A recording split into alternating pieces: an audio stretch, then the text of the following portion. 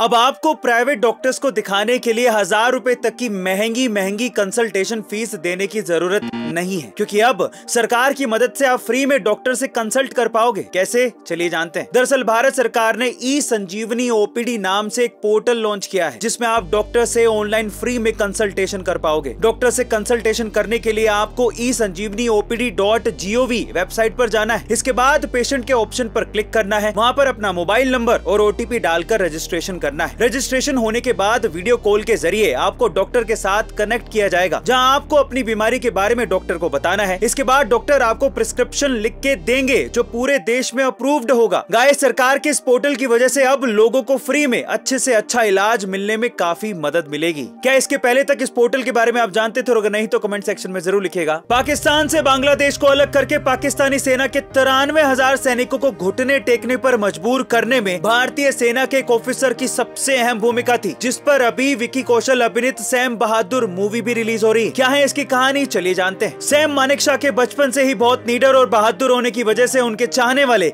उन्हें सैम बहादुर के नाम से पुकारते थे। लेकिन उनका असली नाम Hormuz ji, from ji, Jamshed ji Manekshaw था। बचपन में वो डॉक्टर बनना चाहते थे, लेकिन उनके पिताजी ने जब इस चीज़ का विरोध किया तो उन्होंने गुस्से में इंडियन आर्मी का फॉर्म भर दिया और वो सिलेक्ट भी हो गए। उन्होंने अपने 40 साल के आर्मी करियर में कुल पाँच युद्ध लड़े थे। साल उन्नीस सौ इकहत्तर में जब बार बार वार्निंग देने के बावजूद भी पाकिस्तान युद्ध रोकने के लिए तैयार नहीं था तो पाकिस्तान के साथ युद्ध करके सिर्फ़ तेरह दिनों में ही पाकिस्तान के तिरानवे हज़ार सैनिकों ने भारतीय सेना के सामने सरेंडर कर दिया था, जिसे सैम मानिक शाही लीड कर रहे थे। इस युद्ध के बाद ही बांग्लादेश पाकिस्तान से अलग होकर एक आज़ाद देश बना था। गाइस, भारत माँ के इस बहादुर बेटे को हम सलाम करते हैं। एक आईपीएस अधिकारी जिसे कभी टेंपो चलाने का तो कभी कुत्ता टहलाने का काम तक करना पड़ा। बारहवीं क्लास में फेल होने की वजह से जिसे नौकरी तक नहीं मिल पाई थी। इसी वजह से उसने चपरासी तक की नौकरी की। ये कहानी है आईपीएस मनोज शर्मा की। मध्य प्रदेश के मुरैना में रहने वाले मनोज नकल करके बड़ी मुश्किल से ग्यारहवीं क्लास में पास हुए थे, लेकिन बारहवीं क्लास में नकल ना कर पाने की वजह से फेल हो गए, जिसके बाद उन्होंने अपने भाई के साथ मिलकर टेंपो चलाने का काम किया। एक दिन उनका टेंपो किसी वजह से पुलिस ने पकड़ लिया। लिया। टेंपो छुड़ाने के लिए वो एसडीएम के ऑफ़िस गए, लेकिन उस ऑफ़िस में शांत से बैठे आईएएस अधिकारी को देख